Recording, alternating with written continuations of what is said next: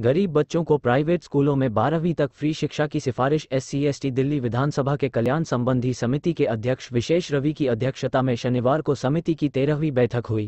इस बैठक में अनुसूचित जाति और जनजाति के कल्याण से संबंधित मुद्दों पर चर्चा हुई। समिति के अध्यक्ष विशेष रवि ने प्राइवेट स्कूलों में पढ़ने वाले ईडब्ल्यूएसडीजी छात्रों के अधिकारों और उनके कल्याण को सुनिश्चित करने के मुद्दे पर चर्चा करने के लिए शिक्षा विभाग को तलब किया था। बैठक में विचार विमर्श किया गया कि शिक्षा का अधिकार, आरटीई, अधिनियम वर्तमान में 6 से 14 साल की आयु के सभी बच्चों को मुफ़्त और अनिवार्य शिक्षा प्रदान करता है, लेकिन लाभ केवल कक्षा आठ तक ही प्रदान किया जाता है।